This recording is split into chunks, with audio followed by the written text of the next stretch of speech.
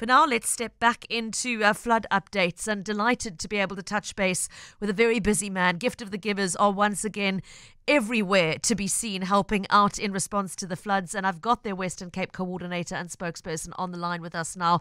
Ali Sablay, I believe you're out in the Macassar area at the moment. Thanks for making time to give us an update. Welcome to the show. Thank you.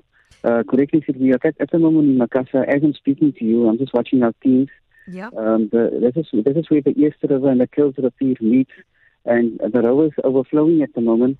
And the one bridge that connects the two communities is completely cut off. Yeah. We managed for the assistance of the fire department who's here and the disaster risk management teams to tie a rope across the one section and to the section on this side. And we are busy pulling in aid uh, across sure. to the people on the other side. There's about uh, 200 people displaced on the other side, which is completely cut off and this is the only means of getting aid into them. The whole area is completely flooded. I'm talking about close to 300 families. Our teams were on the ground from this morning in this area, uh, delivering uh, blankets, um, warm clothing, hot meals, uh, toiletry packs, some hygiene packs. Uh, word went out this morning that uh, water coming down from the river is contaminated with the sewage coming from Khayelitsha and Mitchell's Plain unfit for the people to drink. So we're just putting a truck of bottled water now to hand out to the community members here as well. Uh, this morning we completed, we, our team split into five. Yep. Uh, we are, we have one team concentrated on the all the informal settlements in the Cape Metropole. We have one team concentrating on the Overberg area, that is your Grabouw, Caledon, uh, mm-hmm. and um, Hermanus area.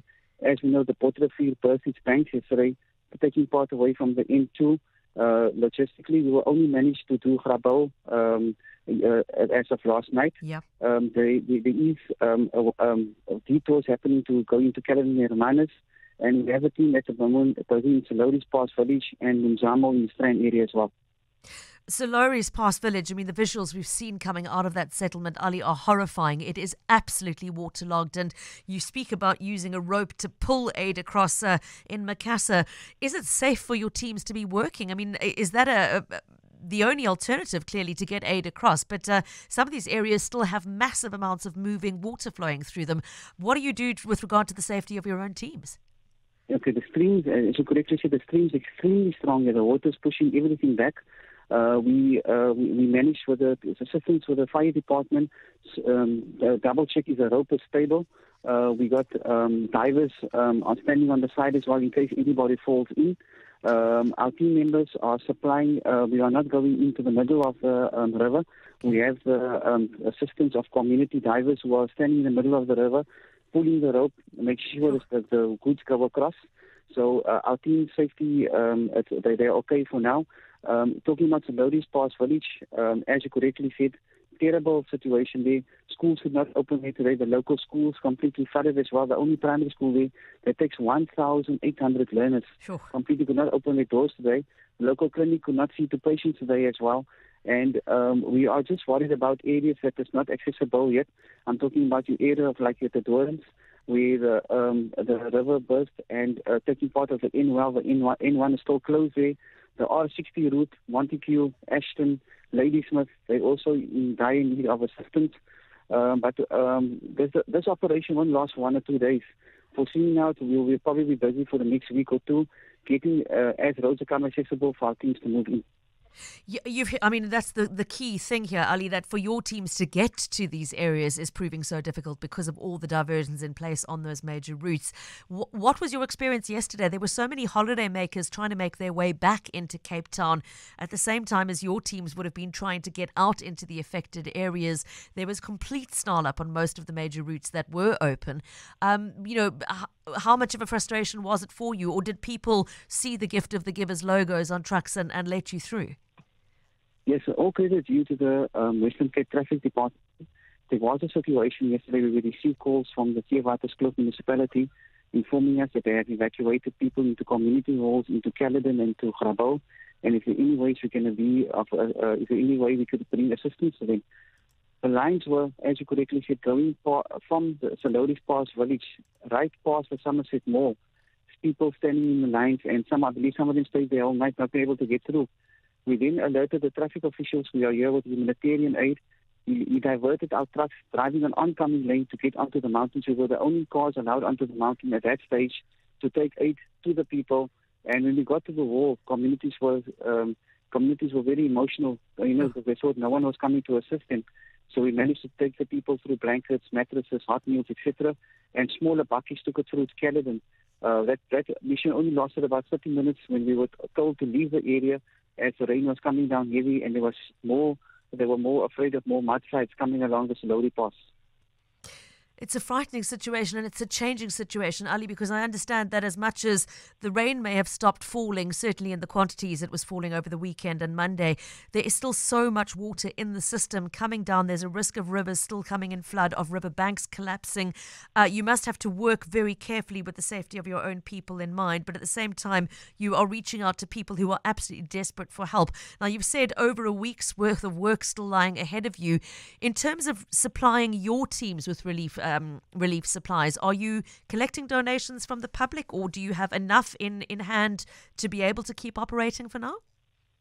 It's not, it's not going to be enough. You know, our estimations, what were figures coming through last night from the different municipalities, and our team, and with our team's assessments on the ground, the numbers are looking 10,000 plus easy. So we're in dire need of um, blankets, mattresses, toiletries, baby care packs, which is your baby nappies, formula. Those can be dropped off at at our collection points, which is which which which you can call on 0800 786 911. It's our toll free number. You can call them and they will give you the points where you can drop off your donations. It just makes it much easier for us if, this, um, if we if they can drop at a collection point instead of us collecting because logistically we are stretched. Absolutely. Okay, so 0800 786 911. If you give them a call, they'll be able to direct you to your most convenient drop off point if you'd like to make a contribution. A reminder they're also Red Cross officers. You can do the same thing. And Ali, as always, thank you so much for um, the help that is given and given so quickly. Uh, you, your, your, your team just has the ability to cut through red tape and get onto the road and out there uh, so quickly. I know it's, it's certainly been done in coordination with other agencies You've mentioned the role of traffic officers. I know the NSRI is out there. We've got a couple of helicopters in the air today. It really seems like um, uh, communities coming together and, and relief organizations helping each other at a time like this. Most definitely. You know, the coordination from the Western Cape Disaster Risk Management Team, the provincial government, who on Sunday informed us that going to be devastating rains for us to be on standby. The coordination and, you know, the um, and even the, the making um, aid accessible as soon as possible to the affected communities. We Really appreciate their assistance. The role of the traffic department, the fire brigade, um, all other NGOs, and especially the community members uh, who, who, informed us, you know, you don't have to come into this area. We, as community leaders, will be taking care of the community, and that, that that's the kind of uh, spirit that these disasters bring out. So it's a positive sign. There's one positive sign from this disaster is the coordination amongst all the different departments. Ali Sablay, thank you so much for uh, that update and thank you again for the work that is being done on the ground in very difficult conditions. Ali, the Western Cape coordinator for Gift of the Givers, speaking to us from the ground uh, with the team in Macassar. And just I'm picturing those teams literally pulling aid across a flowing river to get it to the people who need it. Uh, um, it's it's it's still a very dire situation out there. Make no mistake. And uh, just to emphasise what Ntutuzela said to us earlier, again, the plea remains that if you do not need to be moving around, uh, certainly moving between cities, traversing the major highways, etc., please avoid getting onto those roads if at all possible. Um, it's still a very fluid situation. There are still road closures and flooding. Melissa, thank you for your WhatsApps telling us there's flooding on Baden-Powell Road just before the N2 on the coastal side.